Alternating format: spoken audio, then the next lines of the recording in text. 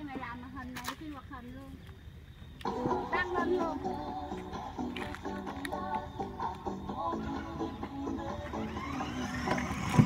vẽ hình cho thành nào khi hoạt hình luôn